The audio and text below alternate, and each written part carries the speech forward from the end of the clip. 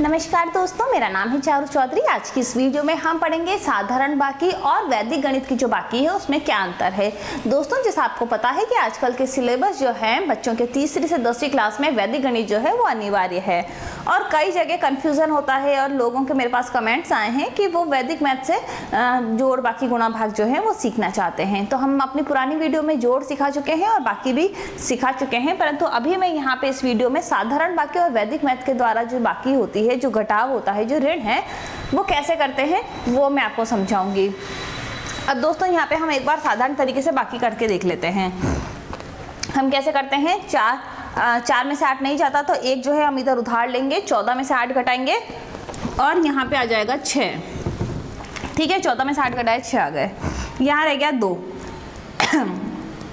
दो जो है, दो में से पाँच नहीं जाता है, एक उधार लेंगे, बारह में से पाँच घटाएँगे। तो बारह में से पाँच घटाएँगे तो आएगा सात।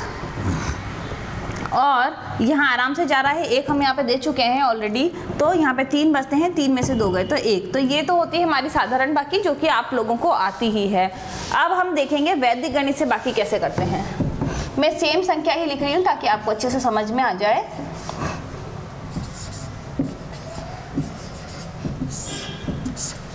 दोस्तों, वैदिक गणित में अगर हमको बाकी करनी होती है तो हमको सबसे पहले परम मित्र लेने की ज़रूरत होती है। परम मित्र क्या होता है? जैसे 10 का आधार है, यहाँ पे हमको 10 का आधार ही चाहिए होगा। तो 10 का आधार है तो एक का जो परम मित्र है, वो होगा 9 आठ का परम मित्र होगा दो।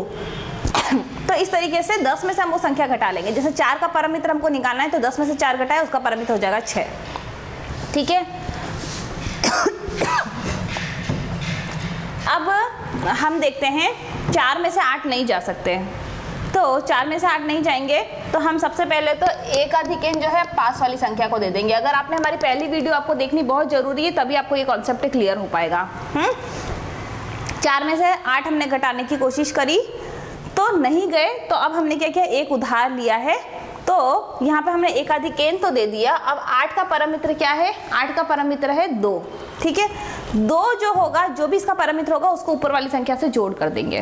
दो और चार कितने हुए? छ अब तीन में से जो छह है, वो नहीं जाता है तो हम एक अधिकेन पहले वाली संख्या को दे देंगे। छह का परमित्र कितना होता है? चार। चार में हम तीन, ऊपर वाली जो संख्या है, उसको जोड़ेंगे। तो हो जाएगा सात। चार में से तीन जो है वो इजीली जा रहा है तो इसमें हमको कुछ भी नहीं करना है। एक तो अब दो, दोस्तों देखिए दोनों के सेम ही आंसर है। बस आपको इतना सा करना है कि नीचे वाली जो संख्या है उसका परम मित्र निकालना है और ऊपर वाली संख्या में जोड़ देना है अगर ऊपर वाली संख्या छोटी है। तो सबसे पहले आपकी जो कोशिश रहेगी दोनों अंकों की तुलना करो कौन सी बड़ी है कौन सी छोटी है।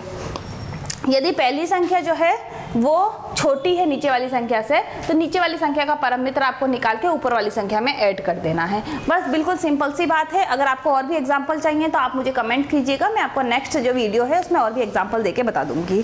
तो अगर आपको मेरी वीडियो पसंद आती है और ये आपको व्यवकलन जो है व्यवकलन बोलते हैं इसमें, समझ में आया है तो आप जो है लाइक कर सकते हैं और सब्सक्राइब कर सकते हैं। धन्यवाद।